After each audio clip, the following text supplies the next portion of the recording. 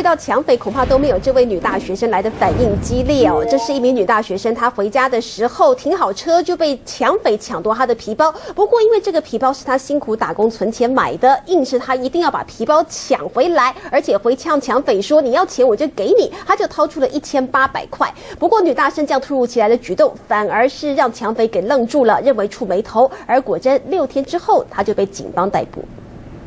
戴着安全帽在社区外头鬼鬼祟祟，这名许姓男子因为缺钱花用，手拿折叠刀锁定一名女大生下手行抢。当时装修女大生深夜打工下班，车才刚骑到家门口，许姓男子就突然从她的背后抢走她的皮包。不过女大生的反应相当快，马上把皮包给抢了回来，还壮胆对她呛瞎说：“你要钱是吧？我给你。”于是掏出身上的一千块，不过女大生又怕嫌犯觉得太少，于是又再拿出了身上的八百块。许姓男子被女大生这样的举动吓到了，认为这样很触眉头，于是拿了钱就逃之夭夭。调阅啊，上万支的一个监录系统啊，那在五月十四号啊，查获许姓的嫌犯啊，那许姓嫌犯本身也是窃盗跟强盗的一个通缉，但认为啊，这个好像触了眉头啊，结果啊。在数天之后啊，就被警方这个查获啊，绳之以法。